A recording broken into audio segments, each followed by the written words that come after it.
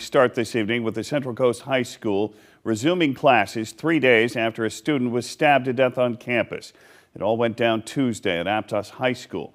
Today, the classmates accused of killing that student were in court.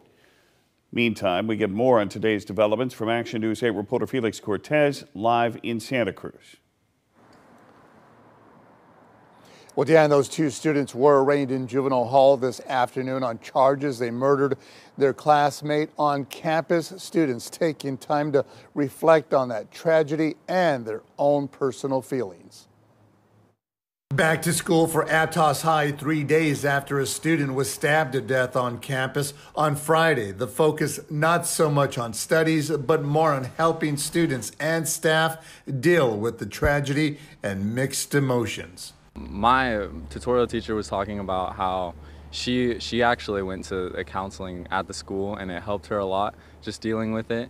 And I don't know of anyone personally who's used it, but yeah, they talked about how we can just get a slip and then go to counseling if we need it.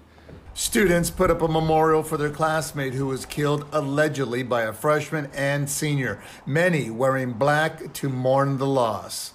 Most people were kind of keeping to themselves, sort of, and nothing, I don't know, it just wasn't the happiest kind of day because every, everyone was definitely somber and yeah, you could you can feel it.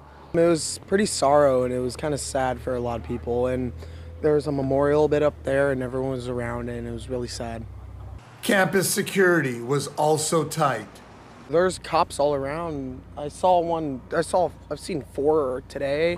One was just down here a second ago, and they're just all over making sure we're okay, and I'm thankful for it.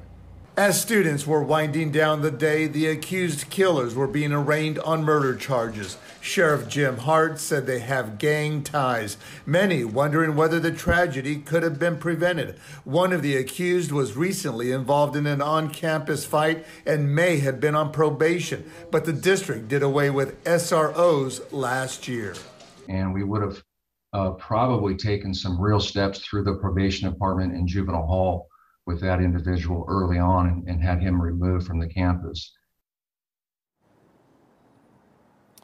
Now, as for those two students charged with murder, one of them, the 17 year old, is old enough to be tried as an adult, but at this point, prosecutors not telling us whether or not they plan to petition the court to have that minor tried as an adult.